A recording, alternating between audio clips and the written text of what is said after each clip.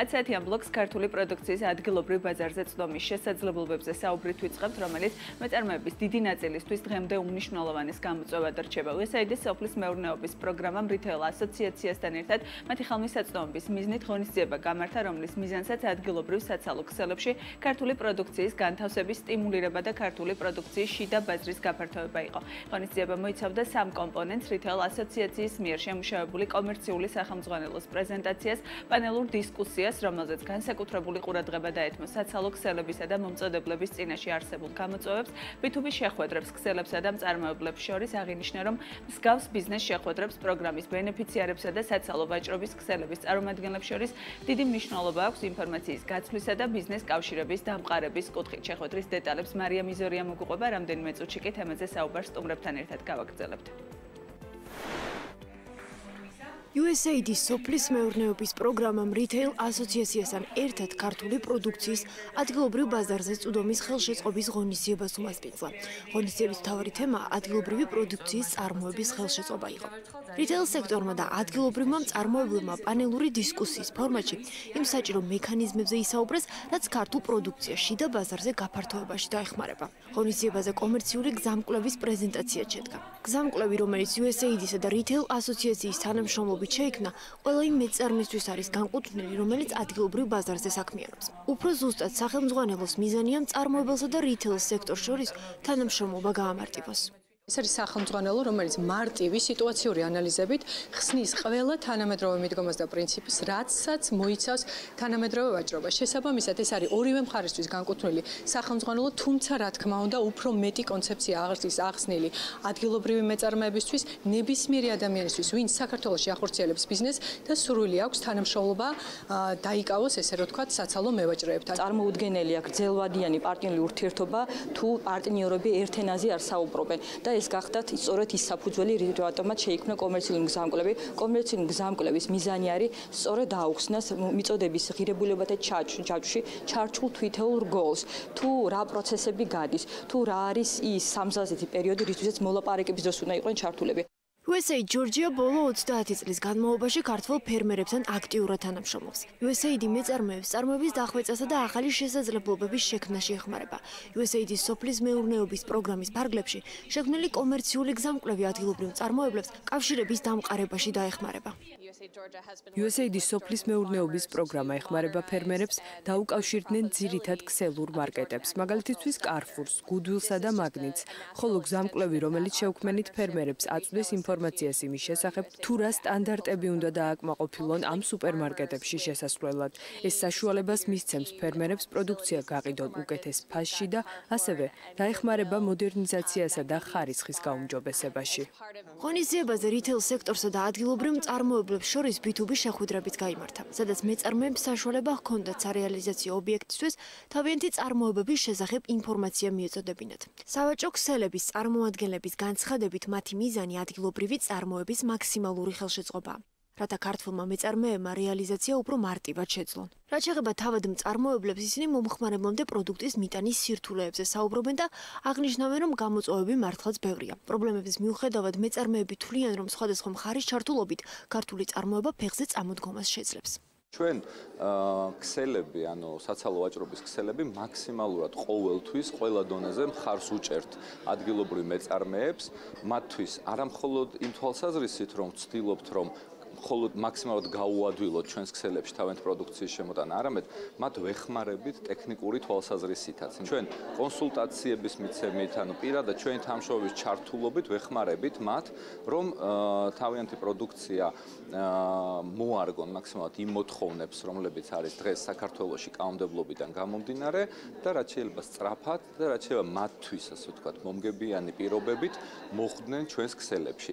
მნიშვნელოვანი შეხვედრა და შეხვედრები ჩვენნაირი წარმოებისათვის ადგილობრივი მცირე და საშუალო მცირე ბიზნესის განვითარებისთვის ზოგადად მცირე ბიზნესის განვითარება ქვეყნისათვის ძალიან მნიშვნელოვანი ჩემი აზრით და შეხვედრა ჩვენ საშუალებას გვაძლევს გავიცნოთ სელური მარკეტის პოზიცია, მათი მოთხოვნები, ის თუ როგორ შეიძლება ჩვენ შევიდეთ ბაზარზე და დიversiფიცირება მოახდინოთ ჩვენი გაყიდული პროდუქტების ქართული პროდუქტის სარეალიზაციო სივრცეში მოხვედრა რომ ბევრ მუშაობას საჭიროებს ამაზე ორივე მხარე თანხდება. ხარვეზები როგორც წარმოებაში, ასევე რითეილ სექტორშიც უამრავია. კომერციული გზამკვლევის შექმნით ერთი ნაბიჯი უკვე გადაიდგა. რამდენად აითვისებენ მას ადგილობრივი მწარმოებლები, ამას უკვე შედეგები გუჩვენებს. როგორ უნდა მოახერხოს ადგილობრივმა კომპანიებმა ქსელურ მარკეტებში შესვლა თემაზე საუბარს სტუმრებთან ერთად ვაგრძელებთ USAID სოფლის მეურნეობის პროგრამის ბიზნეს სერვისების კომპონენტის ხელმძღვანელი მარიამ თევდორაძე, რითეილ კონსულტანტი, კომერციული გზამკვლევის თანაავტორები იანა დირაშვილი და მირანდა მანჯგალაძე და რითეილ ასოციაციის გამგეობის თავმჯდომარე სოფიო ქაშაკაშვილი გვერდებიან. პირდაპირ ეთერში დილომ მშვიდობის ამიგობრება, მადლობა თქვენი დროისთვის. მირანდა, მოდი პირველ რიგში დავიწყოთ გზამკვლევზე, რომელიც შეიმუშავეთ, რომელიც საკმაოდ ინფორმაციულია, მრავალფეროვანია, რა ტიპის ინფორმაციაა. მოხდრილი და ზოგადად რატომ გადაწყდა, რომ გზამკვლევის ტიპის აქტივობა უნდა განგეხორციელებინათ, გამოგეცათ, მთავარი პრობლემა ამ შემთხვევაში უკავშირდება ინფორმაციის დეფიციტს. კი ბატონო, მოგესალმებით ათია, მივესალმებით თქვენს მაყურებელს, მივესალმები ყველა იმ ადამიანს, ვინც დაგვაფასა და აა მუშინ წინ დაესწრო, ასე რომ ვთქვათ, ღონისძიებას, ღონისძიება იყო მასშტაბური, სრული დასწრებით, ტელევიზიების მხრიდანაც იყო ძალიან დიდი ინტერესი და ძალიან დიდი მადლობა ყველა მონაწილეს აბსოლუტურად, ვინც ამ ასე რომ ვთქვათ, პროცესში დაგვეხმარა. არ შემიძლია არ გამოვყო USAID სოფლის მეურნეობის პროგრამა, რომელ და რითელ ასოციაცია, რომელთაც რეალურად დომბა გამოგვიცხადეს, რომ ჩვენ რეალურად შეგვეძლო მე და იას ეს წიგნი და სახელმძღვანელო შეგვექმნა გაიხსნა და მათ დაინახეს ის პრიორიტეტი და საჭიროება, რაც ბაზარზე არსებობდა. აა რეალურად, როდესაც მუშაობ რომელიმე სექტორში, სამუშაო გამოცდილება გაძლევს იმის საშუალებას, განსაზღვრო რა არის საჭირო, რა კეთდება კარგად, რა არ კეთდება კარგად და შესაბამისად დასკვნების საფუძველზე შექმნა ისეთი რამ, რაც იქნება მარტივი და პრაქტიკულად გამოსაყენებელი. ზუსტად ამ თანამშრომლობის შედეგად გაირკვა ბევრი რამ, ის რომ საქართველოსი ცნობიერება, თუნდაც ამჟამინდელი არსებული სიტუაცია ინფორმაცია კანონმდებლობასთან მიმართებაში დამატებითი გადასახადები და უშუალოდ რიტეილის მხარეს და ასე შემდეგ, ყოველთვის კითხვის ნიშნების ქვეშ დგას, იმიტომ რომ ცნობიერება და ინფორმაციულობა ამ თვალსაზრისით ქვეყანაში არის დაბალი. არა იმიტომ, რომ დაუშვათ შესაძლებლობა ქონდა საზოგადოება ცოდნა და უფრო მეტი და არა აქვს, უბრალოდ თანამედროვე ვაჭრობა დღეს ახალი პროდუქტია განვითარების ეტაპზეა, თუნდაც ციფრებიც ამაზე მეტყოლებს, 70% არაორგანიზებული ბაზარია, 30% ორგანიზებული ბაზარია, თუმცა სწრაფად მზარდია და შესაბამისად რაც სწრაფად მზარდობაც მომხმარებლის მოთხოვნებიდან გამომდინარეა, ვინაიდან მომხმარებელს სულს კომფორტულ გარემოში სტანდარტების დაცვით ბრენდირებული პროდუქტი შეიძინოს მისთვის ხელსაყრელ, ესე რომ ვთქვათ, ფასთან, რა თქმა უნდა, საფთან ახლოს. ეს ჩამოყალიბებული პრეფერენციები, რაც მომხმარებელს ჩამოუყალიბდა, განაპირობებს, ესე რომ ვთქვათ, მოდერნიზებული ბაზრის განვითარებას ასეთი სწრაფი ტემპით. შესაბამისად, არსებული სიტუაციიდან გამომდინარე, წარმოიშვა საჭიროება, რომ საზოგადოებას და საზოგადოების ნაწილია ბუნებრივია მეწარმე, ადგილობრივი მეწარმე იქნება თუ იმპორტიორი. რიტეილის მხარეს კატეგორიის მართვის ადამიანები, რომლებიც ღებულობენ ყოველდღურად გადაწყვეტილებას, რა პროდუქტია საინტერესო და რა უნდა შევიდეს ქსელში. შესაბამისად, ეს სახელმძღვანელო ამარტივებს კომუნიკაციას კომერციული მოლაპარაკების დროს ერთ მხარესა და მეორე მხარეს შორის. იყო ჩართული მომზადებაში, რამდენად იყვნენ თავად სექტორის წარმომადგენლები, მეწარმეები ჩართულები და რა ტიპის პრობლემები იკვეთებოდა მათი მხრიდან? მეწარმეები სახელმძღვანელო შექმნის დროს სახელმძღვანელო შექმენი მე და შექმნა ია, ორივე თან ავტორი აქ ვართ. შესაბამისად, პროცესში ჩართული არ ყოფილა მეწარმეები, მაგრამ პრაქტიკული გამოცდილება, რაც სამუშაო გამოცდილებამ დაგვიგროვა, გამოაჩინა ზუსტად ის საკითხები, რაც მნიშვნელოვანი იყო საზოგადოებისთვის, მეწარმისთვის და რიტეილერისთვის.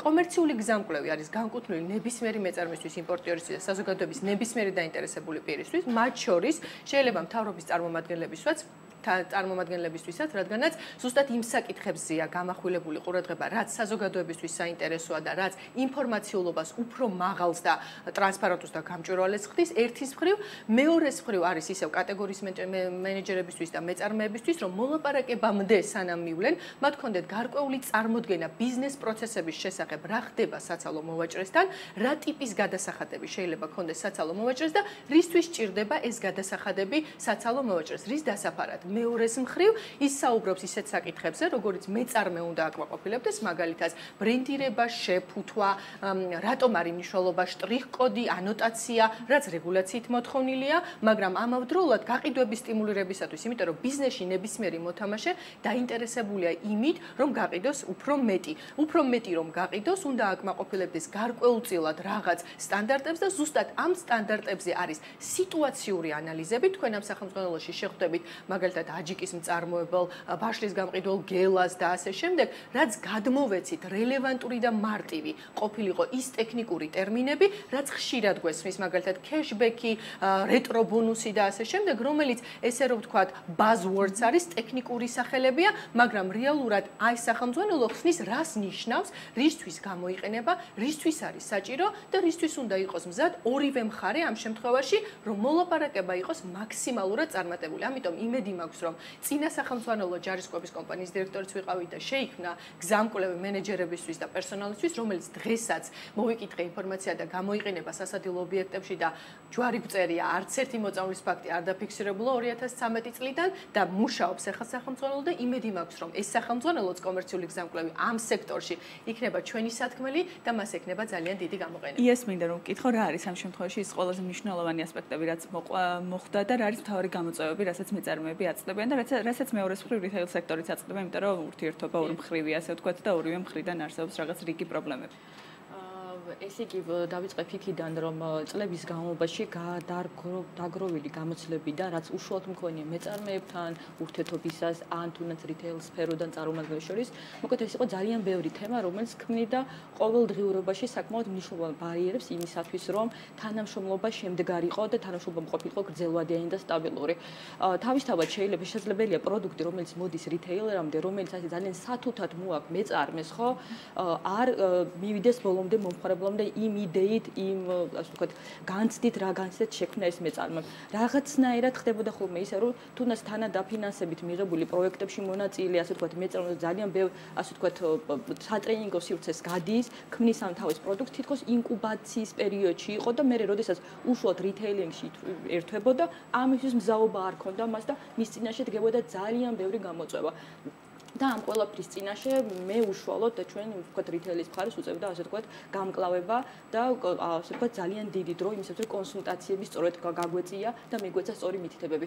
ეს შეიძლება ყოფილიყო ძალიან მარტივი თემა, რასაც ახლა ჩამოთვლდა, თუმცა ეს იყო რეალობა, რომელიც მედრექნის ბარიერებს მოლაპარაკებაში. მაგალითად პროდუქტის ხარისხი არ იყო შესაბამისი იმისა, რაც მომხმარებელს ბაზარზე უნდა და ან შეფუთვა არ იყო სათანადო დონის, ან არ ქონდა მაგალითად მეწარმეს ლოგისტიკა და დისტრიბუცია განვითარებული და თავისთავად ანუ რიტეილერს არ აქვს ამ არ ქონდა იმ პერიოდში მისი სადისტრიბუციო ხაზი და უბრალოდ პროდუქტის მიწოდება ვერ ხორციელდებოდა. ან პროდუქტის პოზიციონირება არ იყო შესაბამისად წარმოქმნილი და რიტეილერს არ შეუძლია დაინახოს პროდუქტის უნიკალური მხარე, რომ მე ეს მომხმარებელს გადასცეს და მომხმარებელსაც დაანახოს. ან ფასი არ იყო სათანადოდ პოზიციონირებული, ან თქო, საბაზრო ფასის ძალიან ზემოთ იყო წარმოქმნილი და არაკონკურენტული მასთან ერთად. როდესაც ფასს ვეხებთ, ერთ-ერთი ძირითადი კომპონენტი არის სწორი ფას წარმოქმნა და დღესაც არის ხოლმე ძალიან ბევრი ასე ვთქვათ საკითხი საიდან მოდის ფასი, არის თუ არა ფასი რელევანტური და არის თუ აქვს თუ არა ერთ ან მეორე მხარეს, თქვა ზედმეტად აკუმულირებული მარჟა, ხო? რეალურად უნდა გამსაზღვროთ ერთი თემა, რომ საბალოო ფას წარმოქმნას განსაზღვრავს მის ზედაზღვას განსაზღვრავს მომხმარებელი და რა პუნქტები არის ეს რომელი ფასები რომელთაც შედგება ფას წარმოქმნა, ხო? ეს არის პირველ რიგში პროდუქტის თვითღირებულობა და მასთან დაკავშირებული ხარჯები. შემდეგ ეს არის ალტერნატიული პროდუქტის ფასი ბაზარზე, ხო? შემდეგ ეს არის თვითოულ რიტეილის რიტეილერის ხშირად ფასზე როდესაც საუბრობთ ადგილობრივი მწარმოებლები საუბრობენ რომ მაღალ ფასი იმიტომ ადებენ რომ ძალიან დიდი რისკია იმის რომ თქვა გვიან უხდიან რიტეილერები ან არ ხდებან და გვიანებით ხდება და ეს ყველაფერი რაღაცა რისკებს უზრდით. აი ამ ამ მიმართულებით რა შეგიძლიათ გითხრათ? რა არის პრობლემა მთავარი? აი დავამთავრებ ხო ფასწარმოქვის პოლიტიკას ანუ აქ ფასწარმოქვის ასევე განსაზღვროს რიტეილერის საფასო პოლიტიკა და ასევე განსაზღვროს კონკურენცია ბაზარზე. და გარდა ამისა არის ერთ-ერთი ძირითადი კომპონენტი რომელიც არის უშუალოდ პროდუქტთან დაკავშირებული გაყიდვის ხარჯი რომელიც რომელიც რიტეილშიც წარმოიქმნება.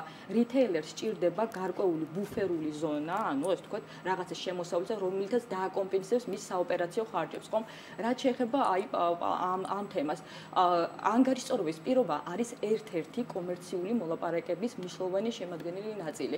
ანგარიშწორებისას ყოფილა ხოლმე შემთხვევები და არაერთი შემთხვევა, მე ჩემი პრაქტიკიდან გამომდინარე ლაპარაკობ და ის რაც მომისმენია და გამიგია, როგორც მეწარმეების მხრიდან, ასევე რიტეილერის მხრიდან, რომ ეს არის ურთიერთ თანამშრომლობის მექანიზმი. არის სტანდარტული თელშეკრულების პირობთ განსაზღვრული ასე ვთქვათ ვადა მოსული ვადა, მაგრამ არის შემთხვევა, როდესაც და არაერთი ფაქტი გვაქვს, როდესაც ურთიერთშეთანხმების დროს წინსწრებით ხდება ხოლმე ანგარიშწერობა და რატომ? იმიტომ რომ ეს არის ორივე მხარის ინტერესი და კიდევ ერთხელ თუ არ არის ორი მხარის ინტერესი გათვალისწინებაში, მაშინ ურთიერთობა ვერ იქნება პარტნიორული და გრძელვადიანი. და რა არის რიტეილი? რიტეილი ქმნის სერვის იმისათვის, რომ შეისყიდოს, ასე ვთქვათ, პროდუქცია და მიაწოდოს მომხმარებელს და თუ ეს სამკუთხედი არ იკვრება, მაშინ ვერანაირ გრძელვადიან ბიზნესის განვითარებაზე ვერ გვექნება საფუძველი.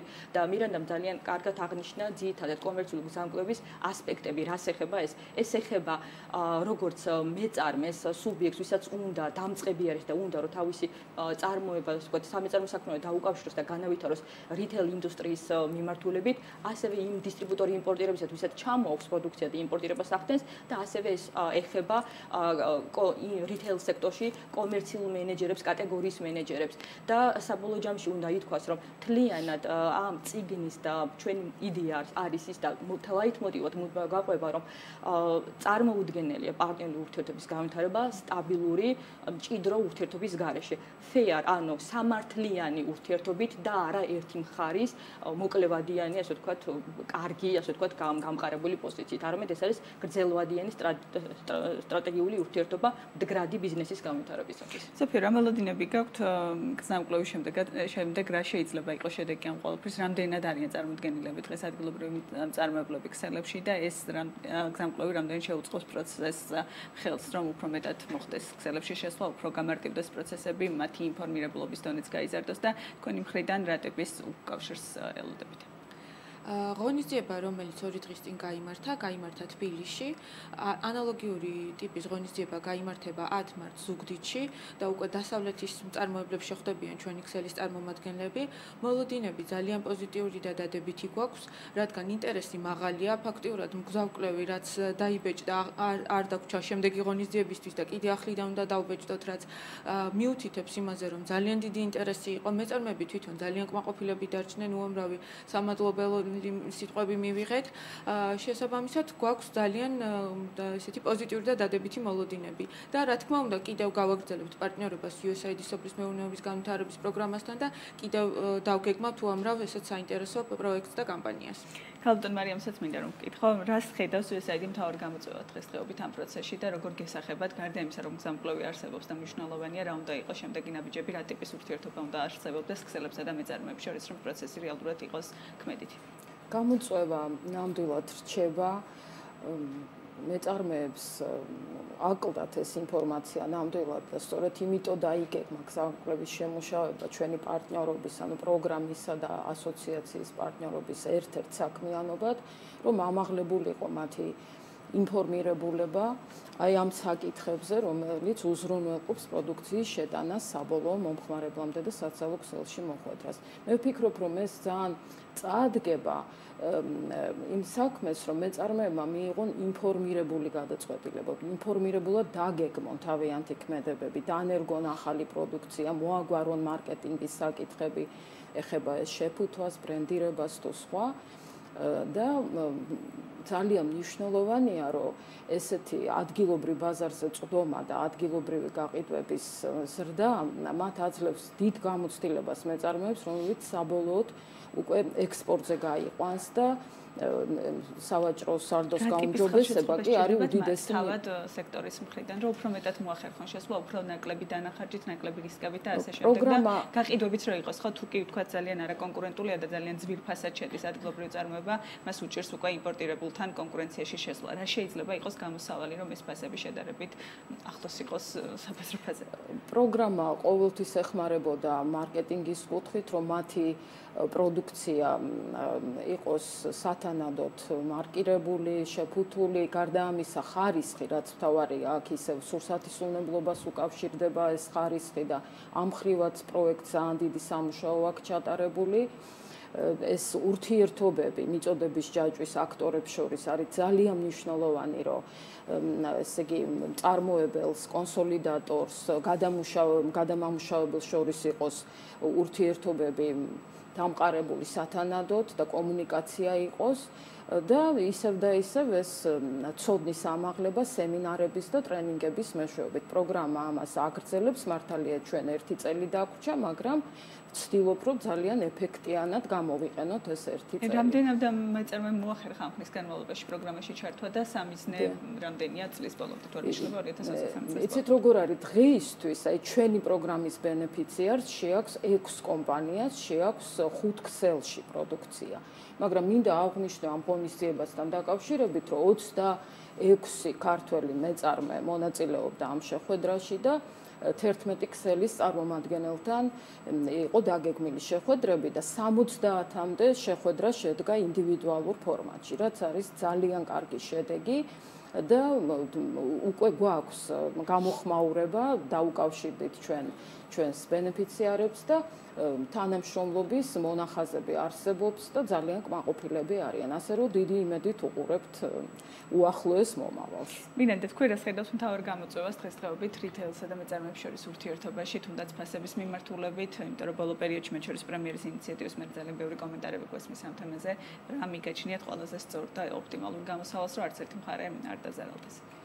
მე ვისურვებდი, მოდი ესე დავიწყოთ, რომ ადგილობრივმა მეწარმემ შექმნას პროდუქტი ყველა იმ დახმარებით, რაც ქალბატონმა მაკამ და ნამდვილად USAID-ის სოფლის მეურნეობის პროგრამა ქალბატონი ლუიზას და თავისი, ესე რომ ვთქვათ, ჯგუფით მუშაობს, აი 24 საათიან რეჟიმში, რომ ფერმერებთან მოხდეს ის იმგვარი კომუნიკაცია, გადამზადება, ინფორმაციულობა და ჩართულობა პროცესში თავიდან ბოლომდე, რომ გრანტი კი არ აიღეს და გააკეთეს და შექმნეს პროდუქტი, არამედ ისინი მუდმივად ცდილობენ თავიანთი გამოცდილებით და ასე შემდეგ, რომ პროდუქტი გახდეს ბაზრისთვის საინტერესო.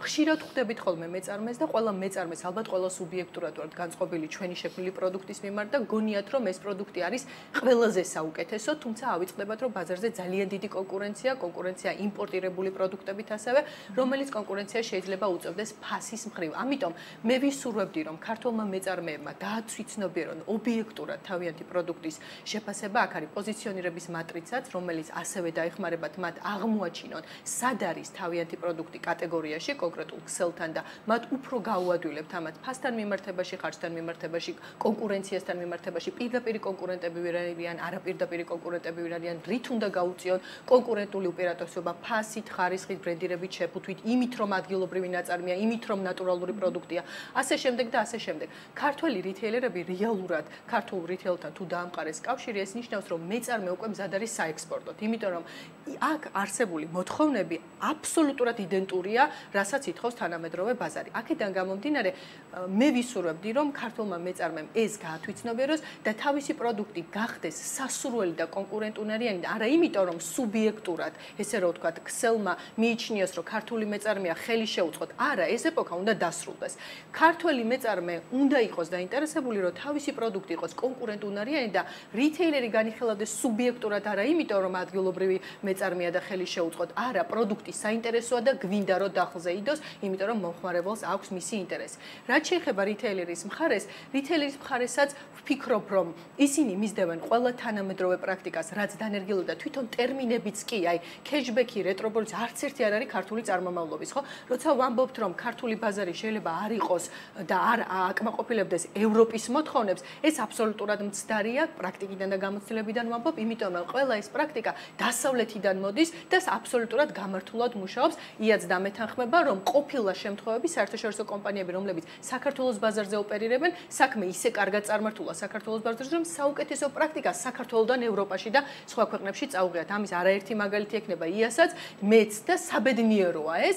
აქედან გამომდინარე, ვფიქრობ, რომ გრძელვადიან პერსპექტივებზე იფიქროს ორივე მხარემ, იქნება რიტეილერი თუ ბიზნეს წარმომადგენელი და ამაში გულისხმობთ ერთ პატარა კომპონენტს, გრძელვადიანი პერსპექტივა და პარტნიორობა წარმოუდგენელია კომუნიკაციის გარეშე და ვისურვებდი რომ ეს კომუნიკაცია გაადვილებოდეთ თუნდაც ამ სახელმწიფოს წარმოშობით ბაზარზე. ია და რა არის გეგმები ამ მიმართულებით ურთიერთობის პროცესში მირანდა საუბრობდა რომ უნდა იცოდეს მეწარმემ სად რომელ ადგილას რა ტიპის პროდუქცია შეიძლება იყოს კონკურენტული, აი თქვენი დახმარება, თქვენი ჩართულობა რა იქნება უახლოეს პერიოდში გზამკვლევის პარალელურად. ზოგადად მე ძალიან აქტიურად ვარ გადასული საკონსულტაციო მიმართულებით, ადრეც წარმოებდი მენტორობას ჩემი უშუალოდ რიტეილის მხარეს ფუნქციონირების პერიოდში, ძალიან ინტენსიურად მქონდა კონსულტაციებს უწევდი ქართულ მეწარმეებს და არაერთი ქართული მეწარმის პროდუქტი დღეს უკვე იმ სახით არის ფორმულირებული, შესაძლოა უკვე რეალურად კონკურენციას უწევს ბაზარზე სხვა იმპორტულ პროდუქტებს, უბრალოდ ხა არ ჩამოვთვლი, ვინ თუ მისმენენ ალბათ ხვდებიან, რომ არაერთ ბრენდზე ვსაუბრობ.